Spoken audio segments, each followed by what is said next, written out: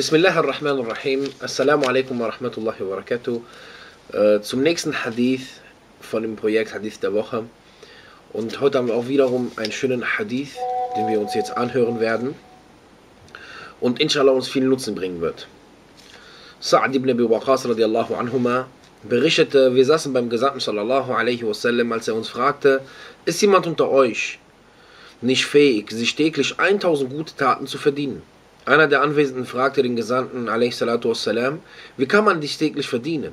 Er sallallahu alaihi wasallam erwiderte, ein Mann spricht hundertmal Tesbih, Subhanallah aus und somit verdient man 1000 gute Taten oder 1000 seiner Sünden werden ihm erlassen. Hadith bei Muslim. Ein sehr schöner Hadith, liebe Geschwister. Und äh, Wort der Wahrheit von unserem Propheten wassalam. Und deswegen wiederholen wir das noch einmal. Sa'ad ibn Abi Waqas radiallahu anhuma berichtete, wir saßen bei den Gesandten sallallahu alaihi wasallam, als er uns fragte, ist jemand unter euch nicht fähig, sich täglich 1000 guten Taten zu verdienen? Einer der Anwesenden fragte den Gesandten alaihi salatu wassalam, wie kann man dies täglich verdienen? Da die Sahaba immer diese Taten gesucht haben, ja? Sofort die Frage, wie kann man es verdienen?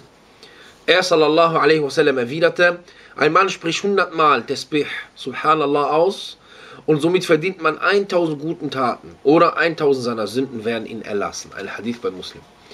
Ein sehr schöner Hadith. Wir sehen wiederum eine Tat, die nicht viel Anstrengung braucht, sondern eigentlich die Erinnerung, dass man sich erinnert, das zu machen.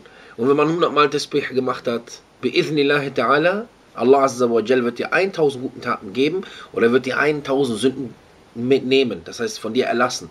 Und subhanallah, wir sind alle Leute, die sündigen und sündigen und sünden werden.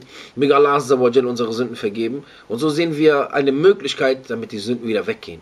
Und eine Möglichkeit, damit die Taten erhöht werden und mehr werden, da wir viele Taten haben möchten.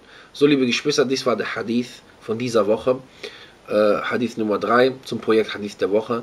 Ich freue mich, wenn ihr das nächste Mal wieder dabei seid und, und euch den nächsten Hadith anhört, den wir machen werden.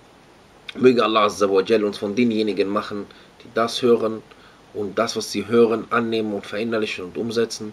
Möge Allah unsere Taten vermehren und möge Allah Subhanahu wa Ta'ala unsere Sünden, unsere Sünden, die Sünden aller muslimischen Brüder und aller muslimischen Schwestern vergeben und auslöschen. Und möge Allah, der Herr der Welten, der Alabama, uns das Paradies geben. Assalamu alaikum wa rahmatullahi wa barakatuh. Bis zum nächsten Mal.